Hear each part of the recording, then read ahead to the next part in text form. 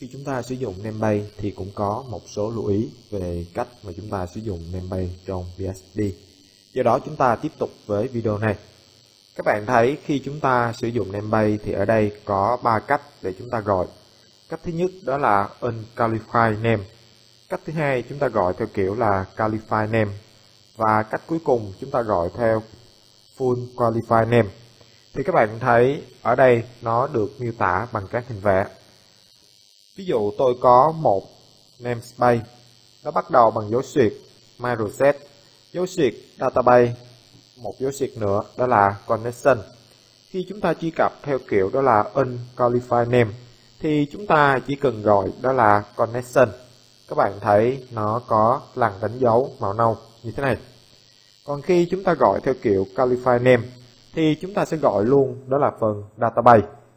Còn nếu chúng ta gọi full qualify name thì nó sẽ bắt đầu bằng dấu xuyệt ở trước giá trị namespace mà chúng ta gọi. Để các bạn hiểu rõ hơn về vấn đề này thì chúng ta sẽ sử dụng một tài liệu của BSPNet về namespace. Các bạn thấy ở đây, đó là ví dụ 06 của chúng ta. Chúng ta sẽ duplicate nó và chúng ta đưa vào đây đường dẫn. Ở đây là trang web của BSP.net và nó có nói khá đầy đủ về cách sử dụng namespace. Nó cũng nói ba trường hợp mà chúng ta vừa nhắc đến. Đó là unqualified name, qualified name và full qualified name.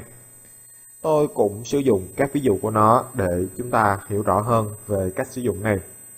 Chúng ta sẽ copy phần mã nguồn này, quay lại phần mã nguồn của chúng ta.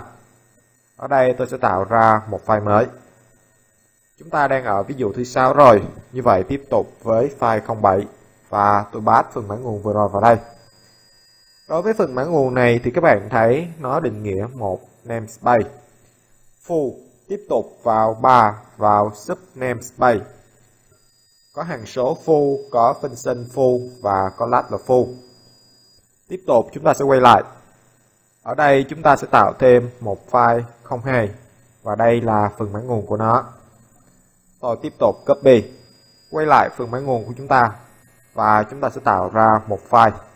Đó là file 08. Cũng đưa phần máy nguồn mà chúng ta vừa copy vào đây. Các bạn thấy ở đây thì nó chỉ là full 3. Còn ở file 07 chúng ta có thêm một sub namespace nữa. Bây giờ tiếp tục quay trở lại phần ví dụ. Các bạn thấy nó sẽ gọi các phần phương thức và các phần hằng số của chúng ta tại file 02. Tôi sẽ copy nội dung này. Chúng ta quay lại phần máy nguồn của chúng ta và ở file 08. Tôi sẽ đặt nó vào đây. Khi chúng ta gọi đến phương thức phù thì các bạn thấy tôi đang ở file 08 và tôi gọi phù thì có nghĩa rằng chúng ta đang gọi phương thức phù của file 08. Ở đây chúng ta sẽ đóng đi nội dung này lại. Bây giờ để dễ kiểm tra thì chúng ta sẽ echo ra một giá trị nào đó. Ví dụ tôi sẽ echo ra, đó là biến file. File 07 cũng vậy. Đối với phương thức này tôi cũng echo ra, đó là biến file. Và hai nội dung ở phía dưới chúng ta có thể đóng lại. Chúng ta kiểm tra phương thức full trước. Chúng ta vào file 08. Như vậy ở đây, chúng ta qua tab đầu tiên và chúng ta điều chỉnh lại 08.dsp.